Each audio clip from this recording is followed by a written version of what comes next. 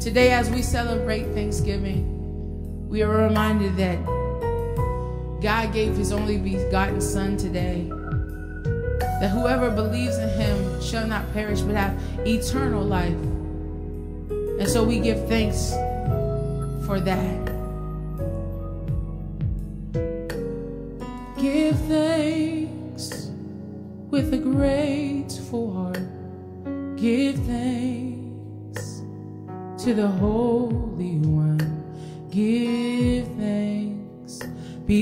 He's given Jesus Christ, His Son.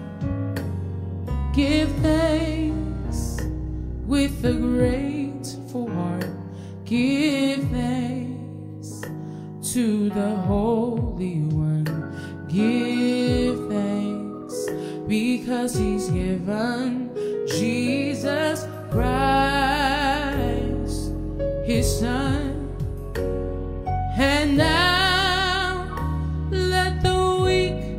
Say, I am strong. Let the poor say, I am rich because of what the Lord has done for us. And now let the weak say, I am strong. Let the poor say, I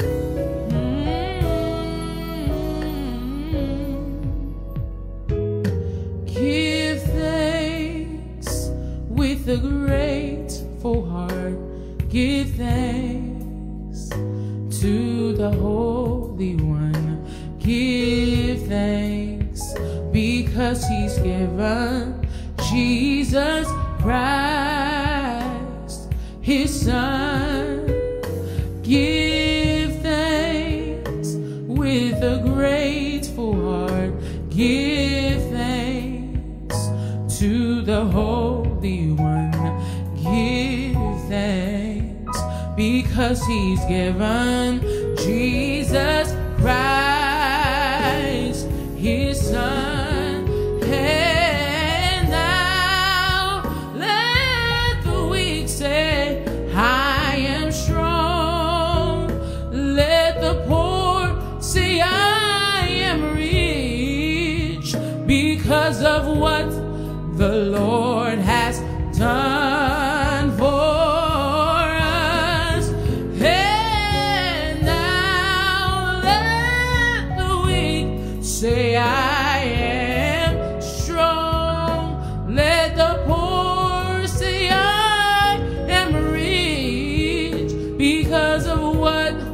the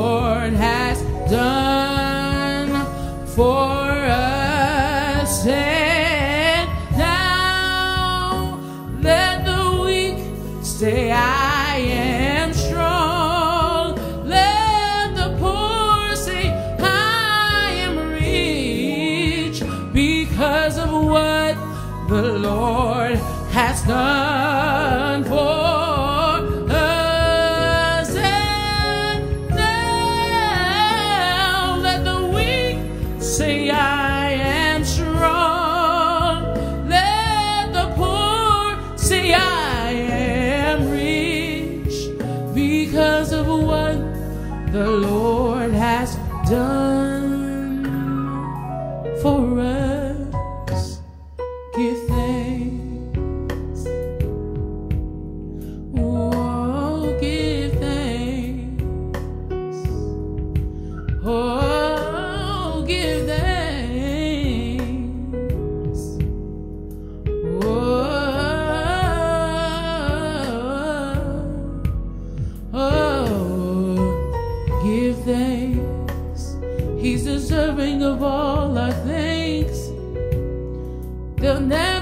enough words to say. What he continues to do for us always i'll always say.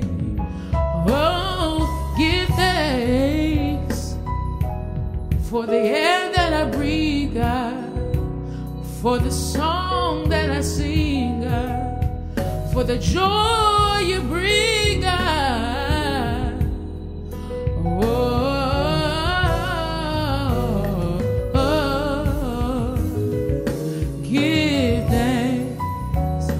on, y'all. Tell each other, remind each other to give thanks always.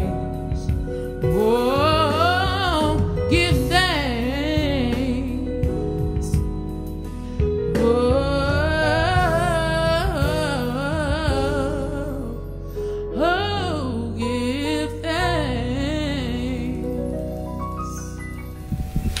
Praise the Lord. Good morning, everybody. Good morning, Shiloh. Good morning, Shiloh Cyber Sanctuary.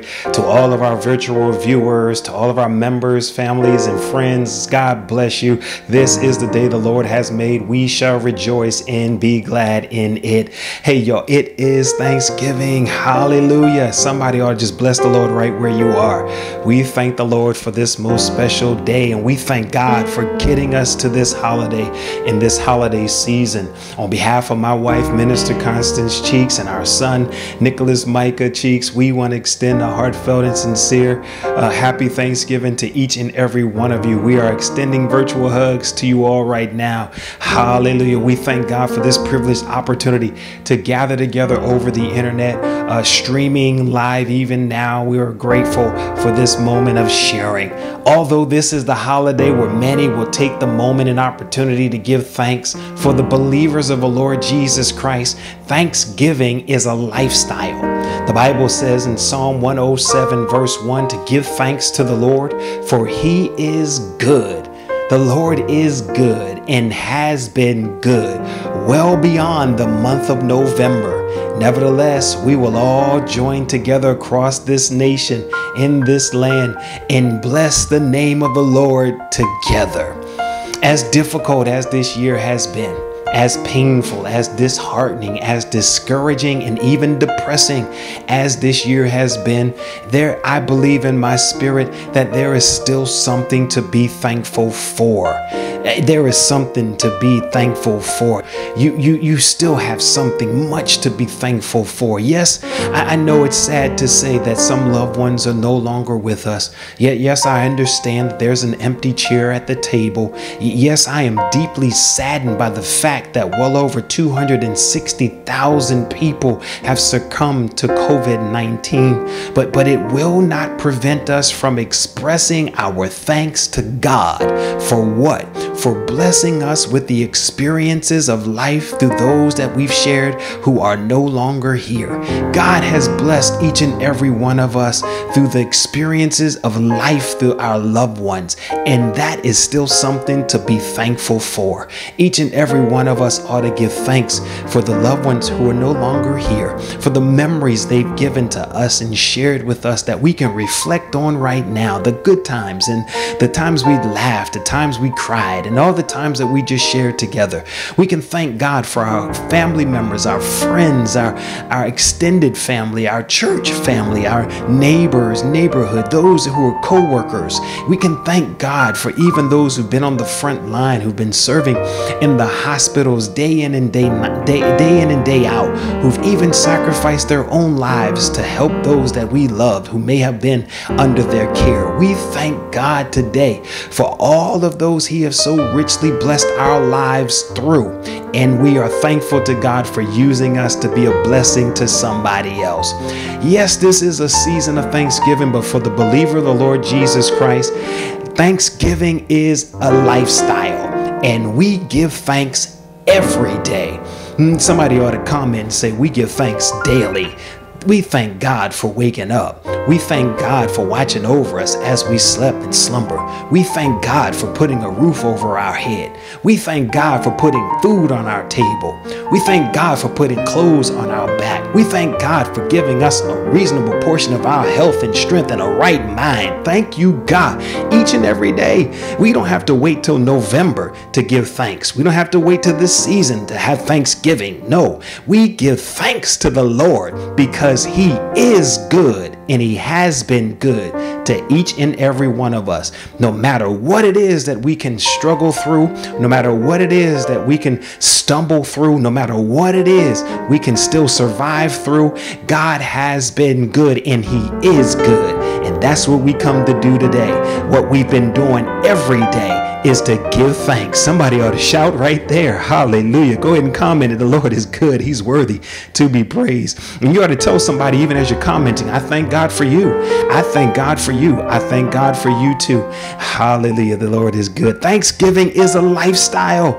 David said, I will bless the Lord at all times. His praise shall continually be in my mouth because Thanksgiving is a lifestyle. It is who I am. I will give thanks to God and I will give thanks to even those He uses in my life to make my life better. Thank you for each and every one of you. Thank you, God, for knowing exactly who to use and when to use them and how to get me to where I need to be and become who you've created me to be. I thank you, God. This is the season of thanks.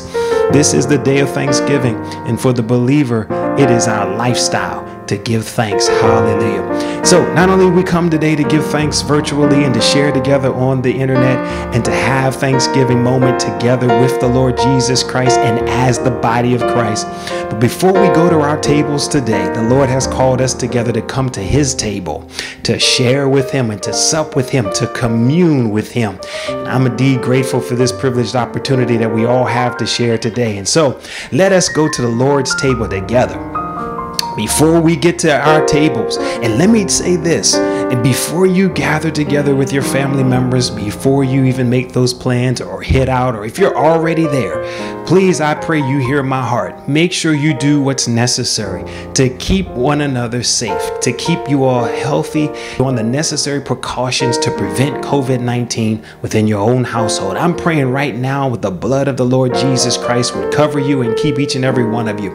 Make sure you do what's necessary to wear the appropriate mask, to make the, make sure you're keeping appropriate distance and space. And even as you're sharing and as you're sharing in the meal, put your mask back on after you finish eating and do what's necessary. If you're extending hospitality or you're entering to a place of hospitality, make sure you wash your hands and do what everything that's necessary to make sure that we just don't make a sacrifice for a meal and miss out on the next on the next holiday. We don't want to we want to get through this holiday to make it to the next holiday. Amen. We'll make it to the next season, make it to the next year, the next month, the next day. We want to do what's necessary to get through this together. And so make sure you take those necessary precautions even while you're sharing with family members and friends. Amen. Amen. Thank you so much. I greatly appreciate that. We care for each and every one of you. We want to see y'all beyond this pandemic. And so, before we go to our tables, let's go to the Lord's table. On the night that the Lord supped, he took bread and broke it.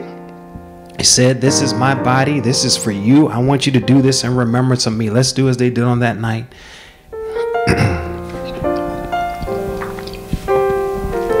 Amen. In the like same manner, he took the cup after they supped, he said, This is the new covenant in my blood. This is the New Testament. This is for you. I want you to do this in remembrance of me. Let us do as they did on that night.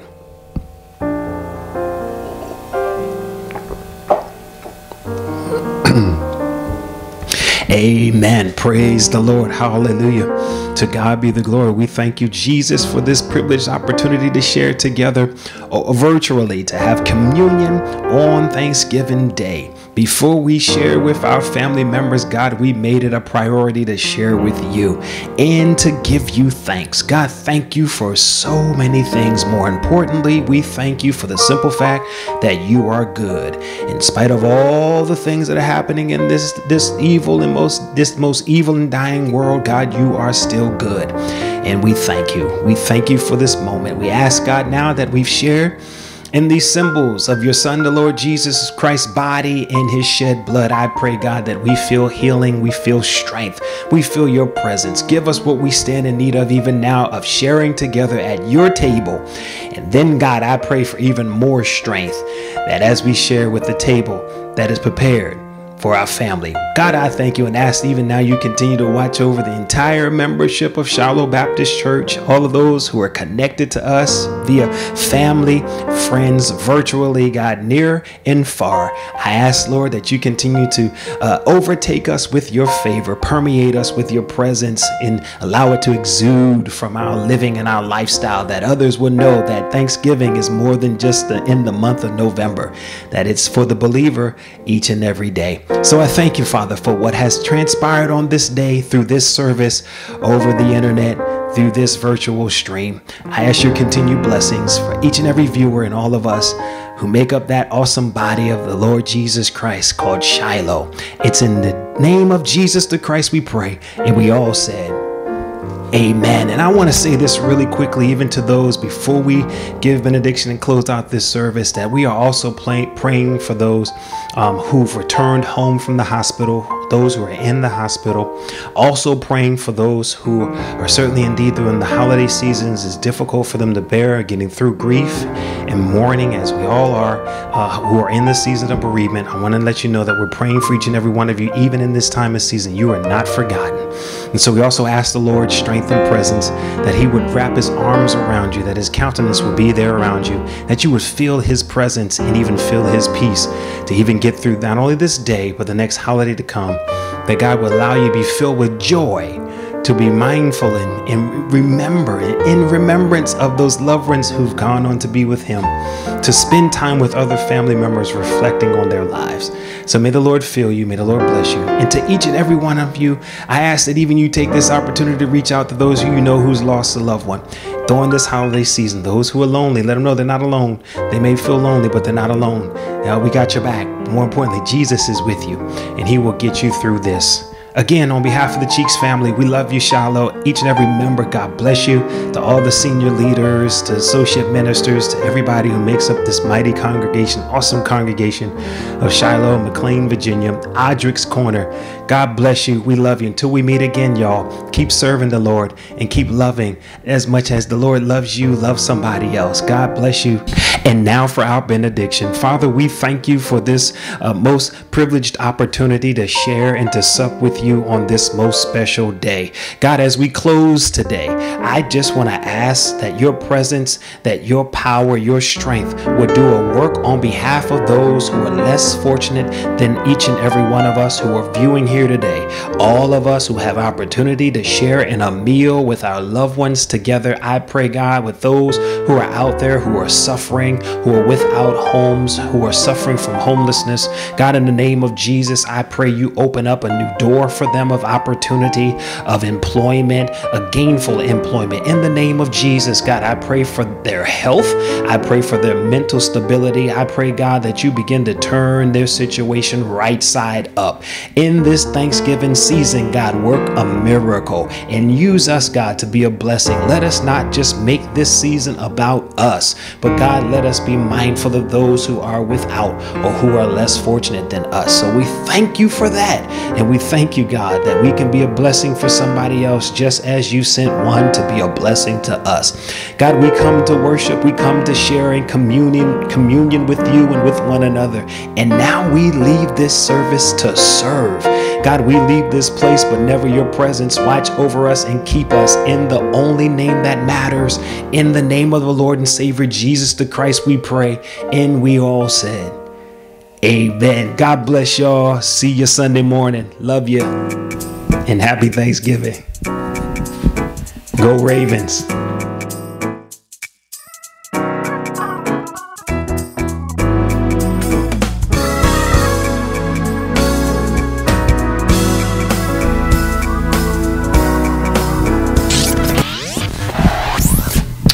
Praise the Lord, everybody. Praise the Lord. Come on, let's just give the Lord a blessing. Yes, sir. Yeah. You want some milk? Okay.